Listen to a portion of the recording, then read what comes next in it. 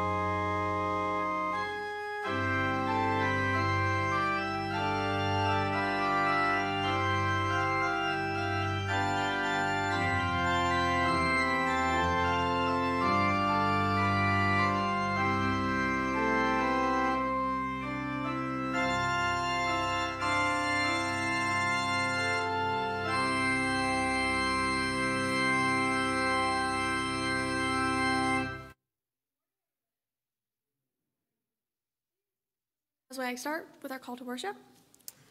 Blessed are you, O Lord, God of our ancestors, and to be praised and highly exalted forever.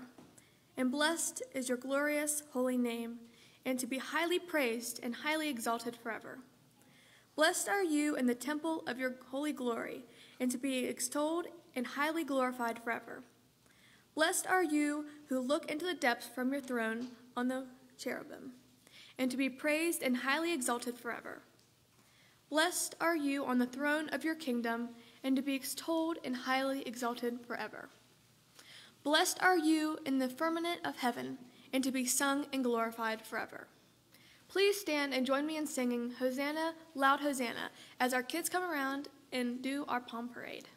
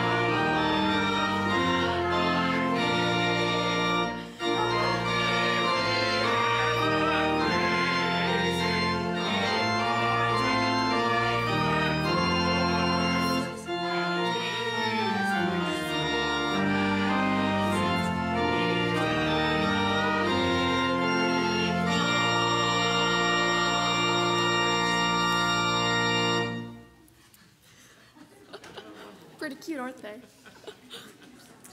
Please join me in responding to our opening prayer. Lord of abundant pardon and mercy, be with us in this day as we parade through Jerusalem gates, wanting the reign of God to be established immediately in the hearts of all people. Make us aware that fear and anger are powerful motivators for evil. Open our hearts to the words of Jesus that we might find courage and healing for all of our burdens. In his name we pray. Amen. O Lord, have mercy on me in my anguish. My eyes are red from weeping, my health is broken from sorrow. I am pining away in grief. My years are shortened, drained away because of sadness. My sins have sapped my strength. I stoop with sorrow and with shame. I am scorned by all my enemies and even more by the neighbors and friends. They dread meeting me and look the other way when I go by. I am forgotten like a dead man, like a broken and discarded pot. I heard the lies about me, the slanders of my enemies. Everywhere I looked, I was afraid, for they were plotting against my life. But I am trusting you, O Lord. I said, You alone are my God. My times are in your hands. Rescue me from those who hunt me down relentlessly. Let your favor shine upon your servant. Save me just because you are so kind.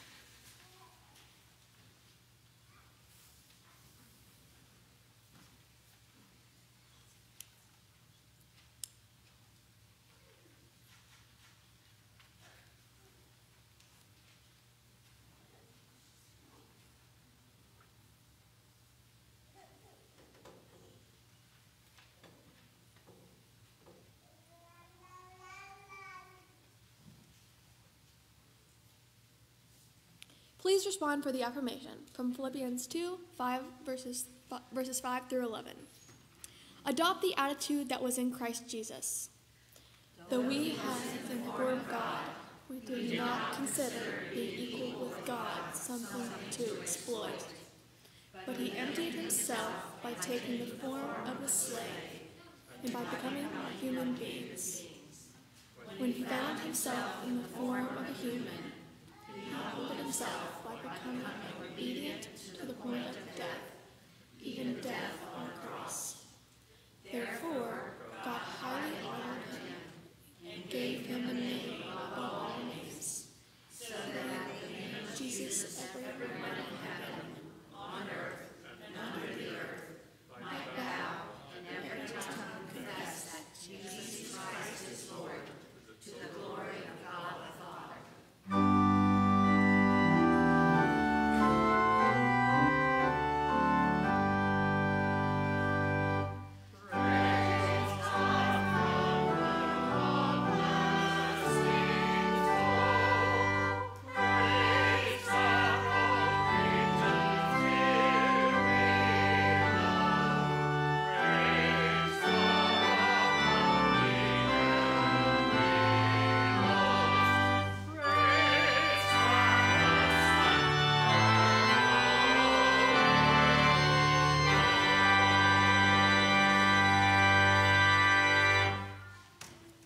join me in saying the Lord's Prayer. Our Father, who art in heaven, hallowed be thy name. Thy kingdom come, thy will be done, on earth as it is in heaven. Give us this day our daily bread, and forgive us our trespasses, as we forgive those who trespass against us. Lead us not into temptation, but deliver us from evil. For thine is the kingdom, and the power, and the glory forever. Amen. Please join me as we respond to Rejoice, O Zion's daughter, to the tune of All Glory, Laud, and Honor.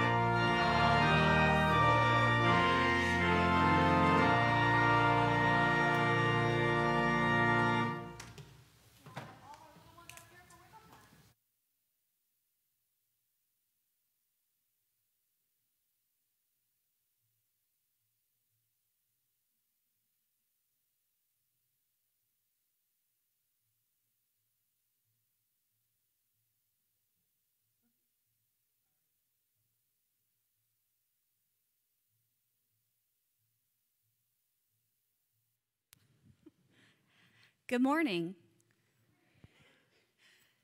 My little friends probably remember me from Sunday school. You guys remember me from Sunday school? It's good to see you this morning. My name's Elizabeth, for those of you that don't remember. I really enjoyed seeing you guys in your palm parade today. Was that fun? Well, you know, it kind of reminds me of a celebration we have here in Buckhannon, West Virginia. Can you think of what it might be?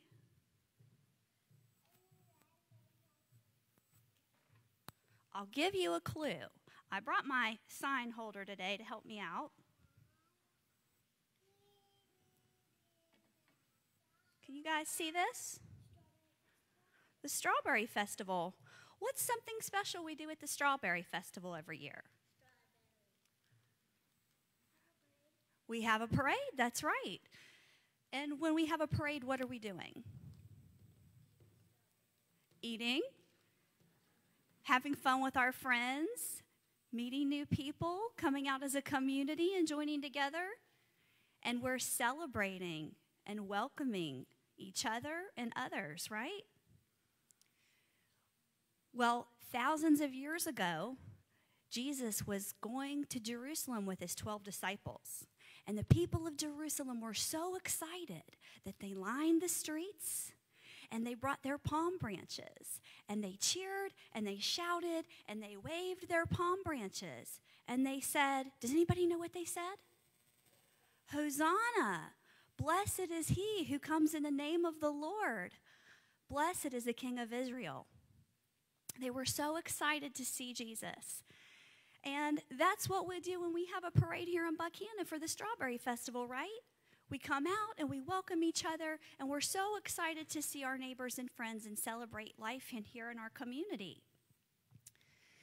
And on Palm Sunday, that's why we have a palm parade at our church, right? Because we're remembering welcoming Jesus, not just on this Sunday as we go into Holy Week or Easter week, but we're remembering welcoming Jesus into our lives every day, right? So that's our special thing I would like to ask you to remember to do this week and every day. I would like you to remember to welcome Jesus every day with joy and excitement. Can you do that for me this week? And try to remember to do that every day? All right. I'd like to have a little prayer with you guys. Would that be okay? All right, let's bow our heads and close our eyes. Lord, thank you so much for bringing all of us here together today with our church families. We're so happy to be here to praise you, Lord, and give you all the honor and the glory for all of the wonderful things you have done, and to thank you for Jesus. We welcome Jesus this week and every day.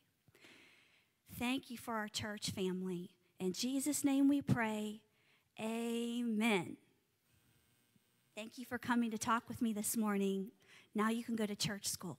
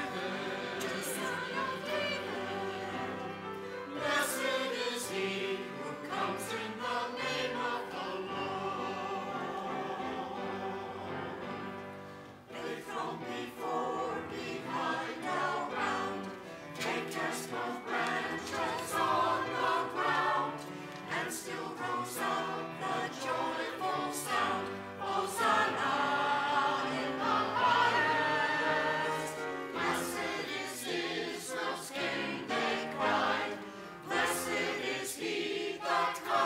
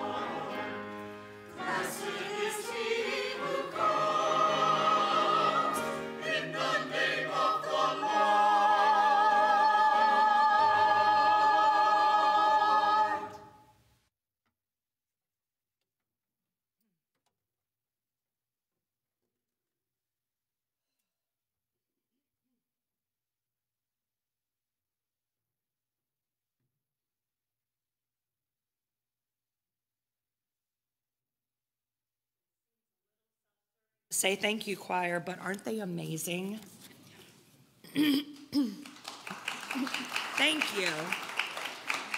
Nice job. Oh, thank you. Excuse me. We'll start this time with a reading of the word from Matthew 21, verses 1 through 11. And it seems appropriate on this Palm Sunday that we would stand for the reading. Please stand and join me. Jesus' triumphal entrance into Jerusalem. When they had come near Jerusalem at the Mount of Olives, Jesus sent two disciples, saying to them, Go into the village ahead of you, and immediately you will find a donkey tied and a colt with her. Untie them and bring them to me. If anyone says anything to you, just say this The Lord needs them, and he will send them immediately. This took place to fulfill what had been spoken through the prophet Tell the daughter of Zion, Look, your king is coming to you, humble and mounted on a donkey, and on a colt, the foal of a donkey. The disciples went and did as Jesus directed them.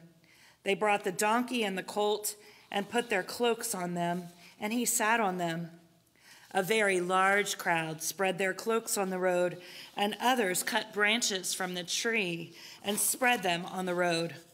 The crowds that went ahead of him and that followed were shouting, Hosanna to the Son of David!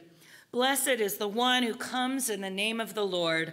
Hosanna in the highest heaven! When he entered Jerusalem, the whole city was in turmoil, asking, who is this? The crowds were saying, This is the prophet Jesus from Nazareth in Galilee. The word of God for the people of God. Thanks be to God. You may be seated.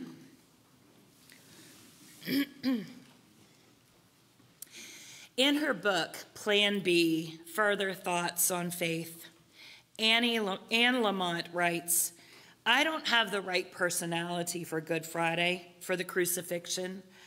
I'd like to skip ahead to the resurrection. In fact, I'd like to skip to, ahead to the resurrection vision of one of the kids in Sunday school who drew a picture of the Easter bunny outside of the tomb. Everlasting life and a basket full of chocolates. Now you're talking. Why don't we jump ahead to Easter? Why do we spend so much time at the cross? What is the purpose of all this talk, the imagery, all this Im- imagery about the cross? Can't we focus on something positive? The uplifting parts of the story, the loving grace of God, the mercy and forgiveness, the acceptance and the pardon? We would like to, we try to, but as Fred Craddock wrote, sooner or later, someone's going to say to you, then what happened to Jesus? And when you tell them to, the truth, that he came to the city as a 33 year old young idealist and stirred up the city, and the city turned on him, and just like that, put him on trial and executed him. Well, some people are going to back away. Can't we leave that part out and just focus on the positive? People aren't interested in a man who dies like that. People aren't, it, it's, a, it's a terrible growth strategy for the church. All that morbid suffering and bleeding and dying. But yet, we live in a world where suffering and bleeding and dying are part of our daily life. Think of tornadoes illnesses, unemployment, accidents. Think of the loved ones you know and the impossible struggles in which some of them are caught. How do we square all this suffering with the God who loves us and cares for us? We've faced these kinds of questions every single day. So, why on this week do we not follow the Jesus who came to live among us, to share our lives, not in some shallow way, but totally painfully, fully, lovingly meet our most important need? Today is Palm Sunday. and still we remember the day in which a whole city threw a parade for Jesus. As Jesus rode a donkey into Jerusalem, people threw palm branches, palm branches and their cloaks on the road to celebrate his arrival. The Prince of Peace was arriving this first Palm Sunday in Jerusalem a week before the resurrection. But Palm Sunday is bittersweet for us, even as we read of the celebration. we know that Friday and the cross is coming. We know that many in this same crowd will change their words of praise to words of death. Today, they shout, Hosanna, Hosanna. Later, they will be shouting, Crucify him, crucify him. No greater person ever lived than Jesus. He was the very word of God come down from the Father. He is life and light, the truth and the way. And yet, no one ever emptied himself more completely of human pride than did Jesus Christ. Consider the donkey on which he rode into, into Jerusalem on that first Palm Sunday. No stallion that could be an image of strength, pride, and superiority. Most certainly, the humble beast of burden was not a symbol of prestige, but of service and peace.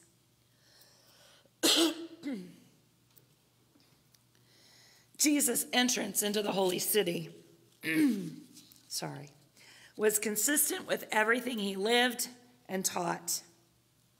Remember how offended Simon Peter was when Jesus stooped to wash his feet? That was a job for a servant, not for a distinguished rabbi. The washing of the disciples' feet, that took place at the Last Supper. Luke tells us that on the way to that holy meal, the disciples had been arguing over which of them would be greatest in the kingdom. The disciples thought of greatness in terms of worldly success. To achieve success was to have others serve you. And they were caught off guard when Jesus taught Whoever wants to be first must be slave of all. For even the Son of Man did not come to be served, but to serve and to give his life as a ransom for many. That's Mark 10, verses 44 and 45.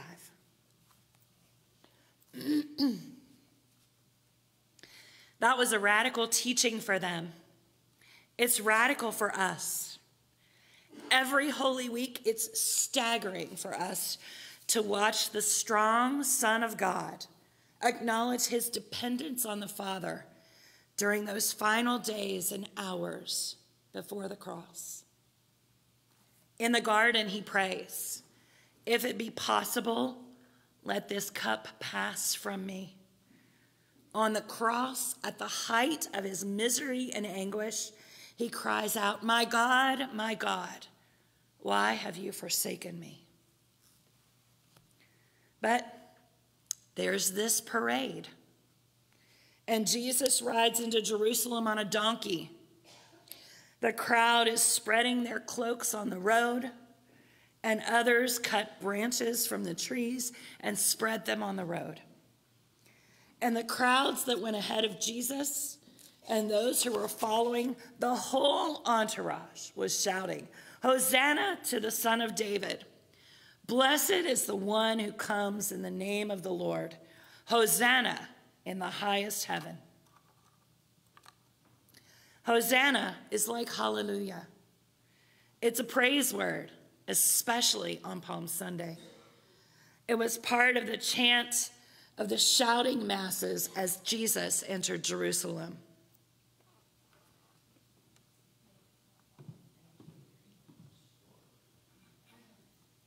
You all are going to thank him too, I'm sure.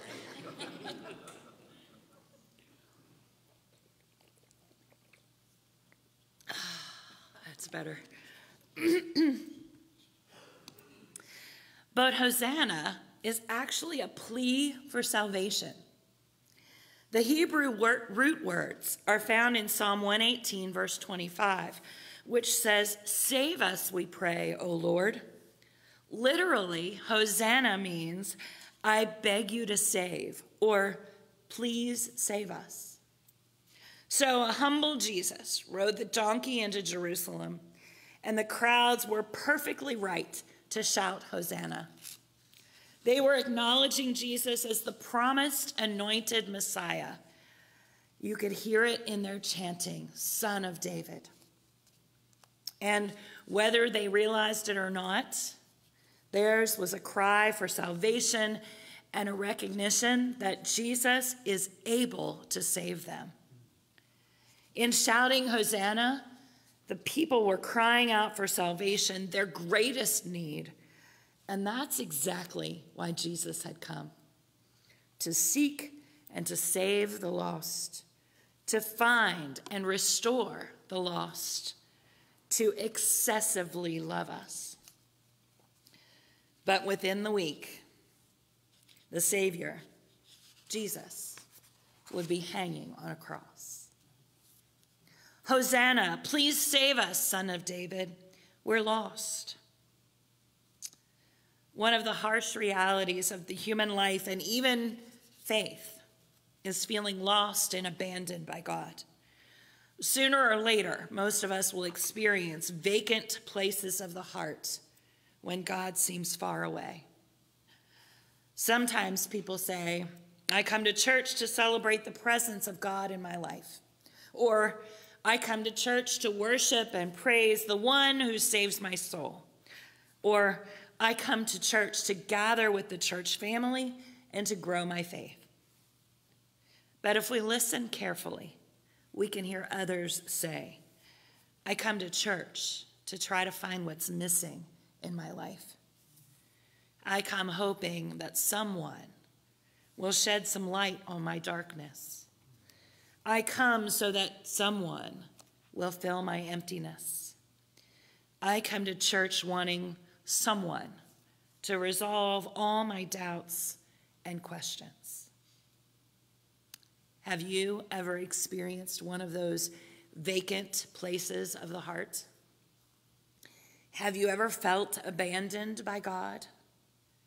Have you ever wanted to cry out, Why, God, why? Please save me. I feel so lost. It may be difficult for us to imagine, but Jesus, the Son of the living God, experienced one of those vacant places of the heart. Jesus, Emmanuel, God with us, was wrapped in the garment of our humanity, and he experienced abandonment just like we all do. You remember the way Matthew describes the day of Jesus' crucifixion? From noon on, darkness came over the whole land until three o'clock in the afternoon. And about three o'clock, Jesus cried with a loud voice, My God, my God, why have you forsaken me? Can you see the wounds on the forehead from that crown of thorns that had been thrust down upon his head? Can you see the blood flowing down his face? the nails in his hands and feet, the wound in his side? Can you see the weak and vacant look in his eyes as he gazes into heaven and cries out, Why? Yet there is something else that catches our eye on that hill outside Jerusalem the darkness. Not just the cross, not just the crucified Christ, not the two thieves who were put to death with him, but the darkness. That's what we don't expect to see darkness. Remember, Matthew tells us that it's noon, the brightest time of the day, the time when the sun is highest in the sky. And yet, writes Matthew, from noon on, darkness came over the whole land. Can you imagine that darkness? Can you sense it? Not only the darkness that engulfed Jesus and Calvary Hill and the whole earth, but also the darkness that Jesus felt inside being abandoned by God. The darkness of the absence of God. A hopeless darkness that feels like eternal abandonment. Give me a second. Scott Peck, author of The Road Less Traveled, says that as children, one of our first and greatest fears is the fear of being abandoned. We feel it when we're six months old, and it scares us as much as does the fear of death. No matter how often our parents try to reassure us, no matter how often they say, Don't worry, mommy and daddy are here. Don't worry, mommy and daddy won't leave you. We continue to be afraid. If we are afraid of being abandoned by our earthly parents, how much more are we afraid of being abandoned by God the Father, our heavenly parent? No wonder Jesus cried out from the darkness of his cross, My God, my God, why have you forsaken me? Many of us have experienced that darkness, a dark night of the soul, a sensation of a dark absence from God, feeling abandoned by God. The young child who watches her parents divorce and then late at night cries in the darkness of her bedroom, Oh God, why? The inner city family whose 11 year old boy is caught in gang crossfire while sitting in his living room playing a video game. The family who cries, Why, God, why? because of the loss of their loved one. The worker who has poured his or her whole life into their work, a loyal employee for years, only to be let go in the twilight of their career. Hosanna, please save us, son of David. We're lost. And so we cry out, even as Jesus cried out from the cross, My God, my God, why have you forsaken me? Thoughtful people of faith have tried to make sense of this question for as long as there have been people of faith. But the answers never seem to be enough. They never quite fill the vacant heart cry, vacant heart's cry of why. C.S. Lewis was a popular Christian author, and early in his career, Lewis thought he had it all figured out. He went around explaining pain and suffering as if they were nothing more complicated than 2 plus 2 equals 4. Suffering is God's megaphone, he said, God's way of rousing a deaf world. It's God's way of driving us out of the nursery and helping us to grow up. But then Lewis met a woman and fell in love. And later, when she was diagnosed with a terminal illness, for the first time in his life, Lewis himself came face to face with the issue of pain. If you love someone, he said, you don't want her to suffer. You can't bear it. You want to take that suffering onto yourself. If I feel like that, then why doesn't God? Before, Lewis had handed out pious answers like he knew what he was talking about. But now he grew sick of people with phony, pat answers to complex questions, and he hated himself for having been one of them. In the end, he concluded there were no answers, at least no slick and simple ones just painful and profound questions. This earthly life of ours, he said, is but a pale precursor of the blessed life to come, a shadow land. is what he came to call it. Hanging on that cross, Jesus experienced a shadowland of his own and cried out for an answer to the unanswerable question why? But in addition to asking why, he may have been doing something else as well. He quotes from Psalm 22. Even though it's an ancient hymn that begins in anguish, it ends in affirmation. Even though it begins with a puzzling why, Psalm 22 ends in praise, singing that dominion belongs to the Lord. Dominion, authority, sovereignty, power, supremacy. Don't you wish God's dominion was as obvious as what the psalmist sings? I love to tell you that it is, but it's not. God's dominion is not a matter of objective empirical proof. Rather, God's dominion is a matter of faith and trust. Peter Marshall was a minister of the New York Avenue Presbyterian Church in Washington, D.C. At the same time, he served as the chaplain to the Senate. Tragically, he died of a heart attack in his early 40s. About a week before his death, Peter and his wife, Catherine, were visiting with friends. They spent the night in the guest room where there were twin beds. Late that evening, after they had gone to bed and turned out the lights long after the house was quiet, Catherine stretched out a hand toward Peter's bed and felt Peter's hand reaching out in the darkness toward hers. How did you know my hand was there? He whispered. She replied, I don't know. I just knew. God's dominion is something similar, a little mysterious, you could say. We can't prove it, we just know. It's a matter of faith and trust. A seminary professor once put it like this When you're driving your car at night, you can't see any farther than the headlights, but you can make the whole trip that way if you just trust that the road continues.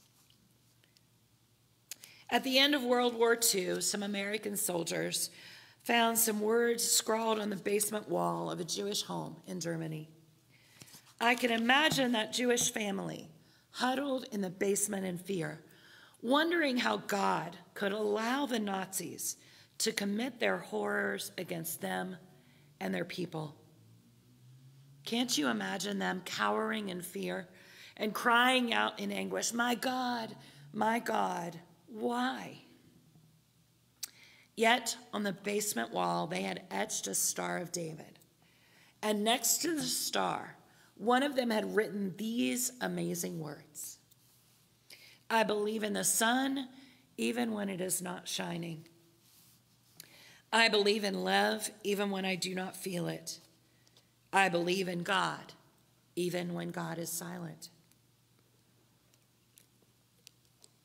That's belief in God's dominion in the midst of feeling abandoned. This is why we so often speak of faith as a journey, because it implies, it implies movement from anguish to affirmation, from a puzzling why to a song of praise that is one of the greatest journeys we will ever make.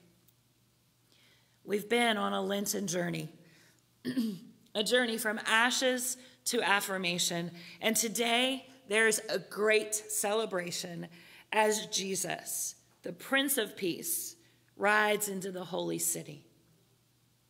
But soon, today's Palm Sunday hosannas change to violent charges the celebration becomes a trial and a conviction, and the palm branches become a cross.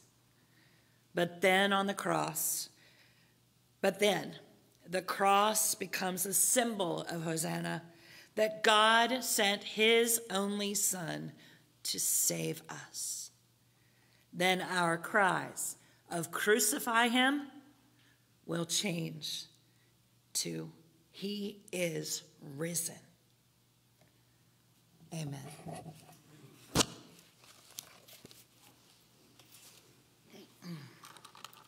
And now I need my glasses because I didn't enlarge the bulletin.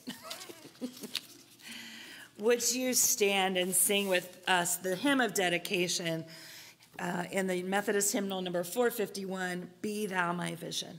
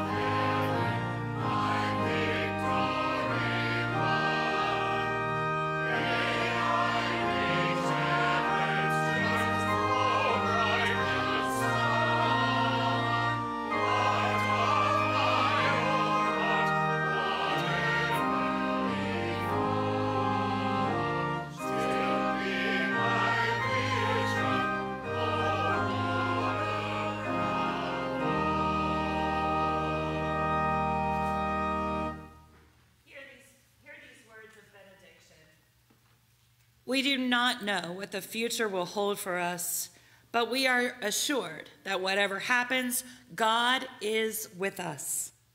Follow Jesus boldly to the cross and beyond, for God's promises are good and true. You are beloved. Go in peace. Amen. Amen.